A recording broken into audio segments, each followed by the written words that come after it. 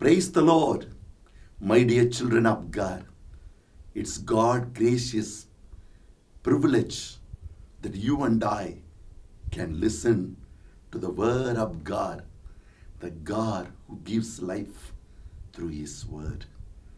We read in John's Gospel, chapter 1, verse 9 onwards the true light which gives light to all human beings has come into the world. John 1:12 For all those who acknowledge him, he gives them the privilege to become God's children. Yes, how did he give us that privilege? Verse 14 God of glory in heaven, he came down and took the flesh and was born in the name of Jesus and to be with us, to dwell among us with a beautiful name called Emmanuel. Yes, that's why John 1:16 says, For from his fullness we have all received grace and truth. Grace after grace. Yes, my dear children of God, the presence of God is the greatest gift a person can achieve in the world. Yes, living in the presence of God is the greatest privilege. Moses said, Lord, if you don't come with us, please don't allow us to go away from here. Yes.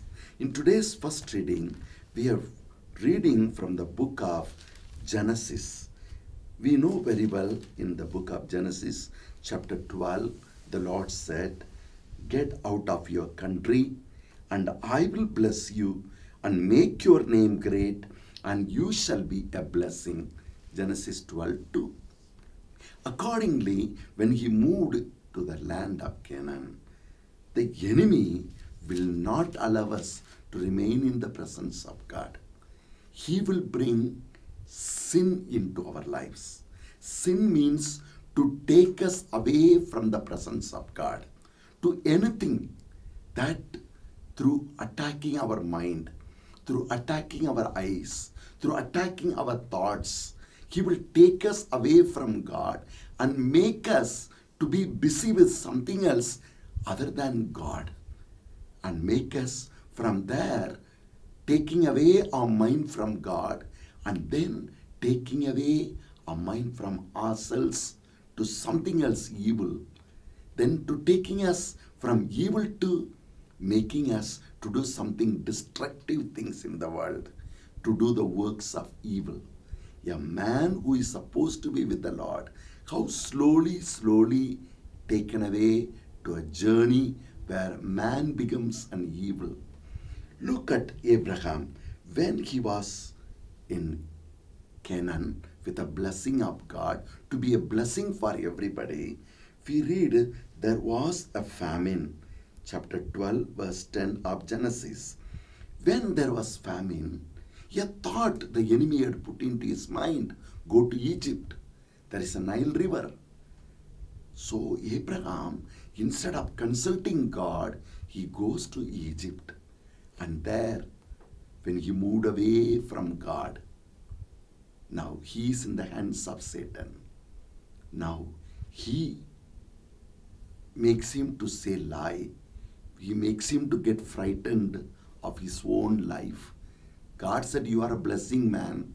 You will be blessing for many. I am with you. He forgot everything. In the presence of sin, you lose to remember the presence of God. The presence of sin and evil will take away everything we have received from God and make us zero. And from then move on to minus. Yes, here we find when he had the fear, he went to Egypt and he told his wife, You tell that you are my sister because you are beautiful. And when he was a child of God, he was thanking God for everything. Now, what he thanked God, his wife is beautiful, now becomes a burden for him. In the absence of presence of God, all the blessing we have received from God will become a burden for us, will become a frightening thing for us.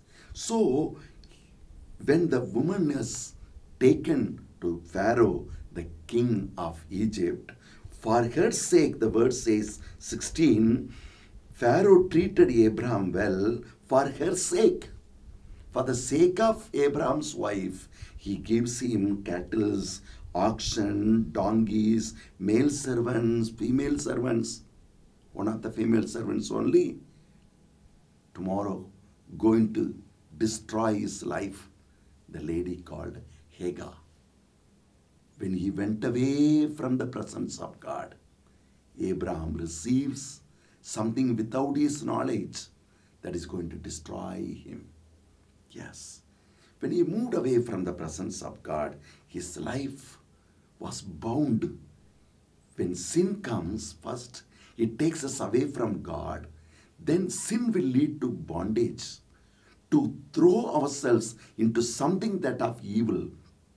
Now, Abraham is so busy with his cattle, so busy with all the things of this earth which Pharaoh gave to him. And in that time, he realizes that the Bible says the brother's son Lot and uh, Abraham's servant, they could not stay together. Verse 6 there is fight comes. Abraham doesn't know. In verse 4, he runs to God, to Bethel, where he once upon a time built the altar, worshipped God. Running to the worshipping God doesn't lead you to cut off the sin and return to God. Cutting off sin and returning to God is a real determined act by mere devotion, you don't come out of sin. So he built an altar at Bethel and he thought God will help him. Yes, but he never entered into God. God had Abraham, but Abraham did not have the Lord. So Bethel, he had worshipped. The next moment we find fight between Lot's servants and his servants. Life becomes so horrible. Lot moves away then in verse 12 of chapter 13 of Genesis, we read, Abraham dwelt in the land of Canaan. Permanently he went and stayed in Canaan. And then we read, he was upset. He doesn't know what's happening to him. He only remains a man of devotion, not a man of dedication and a man of sacrifice. So we read chapter 13 of Genesis, verse 18 so he went to Hebron and built an altar there to the Lord. Once again, building altar. Once again, crying to God. You are empty. Crying to God is good, but we have to enter into God. We have to celebrate God. We have to carry the Lord along with us, which the enemy will not allow. Now, now we find in chapter 14, four kings were attacked by five kings. You know, Lot stayed in a place called Sodom town. So, when you have plenty of money, you will not keep quiet. You will try to, the enemy first gives you money, then he pokes you to poke others. That's why these five rich kings, they are not sufficient with what they have. They were attacking another four kings. And those four kings defeated these five kings. And one of the town is Sodom, where Lot, Abraham's brother's son, was living. Now those four kings captured those five kings, their property, everything. And so Lot, Abraham's brother's son, his family, property, everything is taken away. Now, by this time, Abraham, who is already broken, running to God, to Bethel, to Hebron, and so on. Now, he, with the presence of God, takes 318 people. They are ordinary servants, trained servants. Some are from Egypt itself. But what four kings or five kings could not do, Abraham, with the presence of God, he defeats with just merely 318 servants and defeats those powerful four kings and brings all the people. Now, Abraham is with the presence of God. He could be able to defeat those people, and everyone are returning back to their homes, their towns. The five kings were with Abraham. Now, Satan is going to attack Abraham in another way. How? The king of Sodom is going to tell him, Hello, because of you we are surviving. So we will give all our property, money, wealth, everything. Please allow us and our children, our families, our wives to go back safely. So a temptation is being laid. In that moment, God, who is merciful, he sends a priest called Melchizedek, a man of anointing. With association, the anointing is lit. With the desperation, your anointing moves into fire. Yes. Association is the starting point to knit the fire. So a man filled with the presence of God called Melchizedek, he comes to Abraham and tells him, My son, God up, heaven and earth bless you. One visitation of this great servant of God, filled with the presence of God, shakes up the life of Abraham. Yes, take care that you to become a man, a woman who carries the presence of God. One visit of a servant of God who carries the presence of God shakes up the life of Abraham. Abraham's eyes are opened. Yes, I am the servant of God of heaven and the earth. And I, like a stupid fellow, I am worried about the, what this dirty earth can give it to me.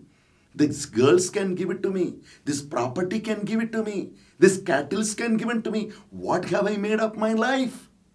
When I am the servant of the Son of God of heaven and earth, I am supposed to move with the power of heaven. And I am caught up with the power of this earth. Immediately, he took Melchizedek and blessed, got blessing from him. What did Melchizedek bring? Bread and wine, symbolizing that God is our bread. God is the wine that cherishes us. In the later stage, we will know in St. John's Gospel, chapter 6, Jesus taking the bread, taking the wine, he will tell, This is my body. This is the food that has come down from heaven, my blood. Whoever eats of this bread and drinks of this cup, they will never die. They will live forever. Yes, that revelation is given to Abraham through Melchizedek. Melchizedek brought heaven from heaven, heavenly presence of God to Abraham, an identity to Abraham. Who are you, Abraham? You are not a man to be just thrown away to the things of this earth. You are supposed to move with the power of heaven. Yes. Immediately the eyes of Abraham opened and he took Melchizedek to his home. Not only received, he gave one tenth to Melchizedek, saying, All I have is coming from God, and all I have been is given to me that I may build up God's kingdom on this earth. So I'll give whatever God has given to me by acknowledging. One tenth means you acknowledge that all you have is from God. And second, you acknowledge that God has placed you on this earth and blessed you that you may become a man of blessing by offering whatever God has given to you by giving to God's servant. Yes. Third, participate. God's kingdom is built up on this earth through you. Yes, God blesses his people. And through his people, he builds up his kingdom. And Abraham gave one tenth to Melchizedek. Then the next day, the king, four kings, defeated people, and the five kings who were saved people, they all come to Abraham. King of Sodom says, We will give you gold and silver. Abraham says, I don't need all this. All I need is God's presence. Take away your gifts. Be happy.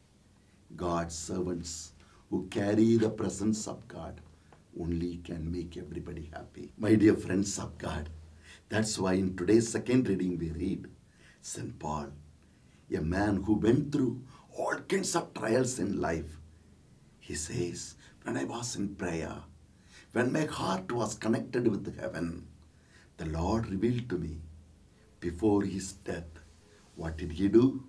He took bread, he took wine, and said, This is my body, this is my blood. Eat of this bread and drink of this cup, and you will never die. You will have an everlasting life. Paul was not an apostle when Jesus was on this earth, but even today, if we hunger for the presence of God, if we move with the presence of God, with the determination, all that the goal of my life is to have the presence, to move with the presence, and to live with the presence. And Paul lived like that. And God's revelations were given to him. That's why in the gospel of today, we find Jesus saw people are hungry. So he fulfilled their hunger of the body. And then he said to them, Lead them to eternal truth. Today you have eaten stomach full, but there is something beyond your body, your soul. Something beyond your body and soul, the presence of God. Come to me. Whenever you are hunger, hungry in the soul, emptiness in the soul, come to me and I will fill you with my presence. My body, you look at the cross, you will understand it's broken for you. Whenever you look at my cross, you will understand how much I have loved you. I gave everything of myself for you. I was wounded for you. I am ready to do anything for you that you may have me. I have you.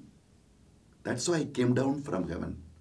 But your mind and hearts are sometime not with me, sometime with the devotional things, sometime you are being caught up with your sin. You have to move from sin with a great determination. I need Him. He is my God. He has died for me. He shed His blood for me. And His blood wipes away my sin. His blood fights for me. His blood intercedes for me. I want to belong to Him, to the one who has loved me and gave His life for me. Yes, Galatians 2.20. Paul said, No longer I live. It is my Lord who lives in me. I live by the one who has loved me and gave his life for me. My dear friends, may this presence of God, which Abraham learned to possess, which Jesus Christ gave to St. Paul, who he wants to give to you and me, that we may have them in fullness. Let's pray. God, Heavenly Father, we praise you, we thank you for your precious blood, the blood that wipes away our sin, the blood that fights for us from the enemy, fights for us with the enemy, and the blood that intercede for us, that we may receive glory after glory of yours. Jesus, O broken bread, you have come down from heaven to be with us. We worship you, we adore you, we glorify you. All those who listen to this word may understand the sacrifice that you made. Understand your heart's cry that you want to have us and you want us to hunger for you, to possess you. And without your presence, the enemy will Make us to lose everything of yours that you have given to us.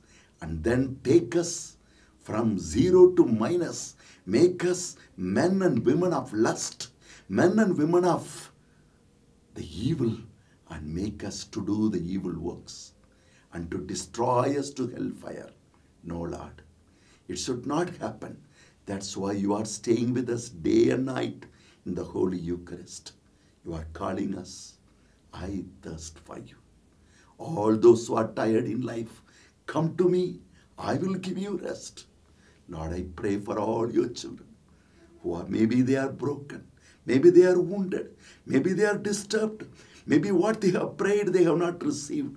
Maybe they do not know what to do with their lives. Maybe they do not know how to come out of their bondages and sin. Maybe they do not know what to do with their lives, how to take decisions, whatever may be. Lord, your love for us is stronger than our needs. And you are calling us, come to me. I will turn everything into good for those who love you. Romans 8:28 you said, Help us, Lord, to come to you. Help us, Lord, to understand your love and sacrifice for us. Help us to love you, that in loving you, we may live your life in fullness. I cast away every power of evil and bondages that has attacked these people who are listening. I curse the evil to go away from the people who are listening to the word of God. You have no power. They are listening to the life giving word of God. May the word of God, the truth of heaven, break the powers of darkness from all of you who are listening to the word of God and may it create a hunger for the Lord, a hunger for the glory of God, to the hunger to belong to God and to live for God and to build His kingdom on this earth. Holy Spirit of God, please do this favor. Work for all of us. Bless everyone with your wisdom, with your knowledge, with your power, with all the gifts and fruits of yours. In Jesus' mighty name I pray. Amen.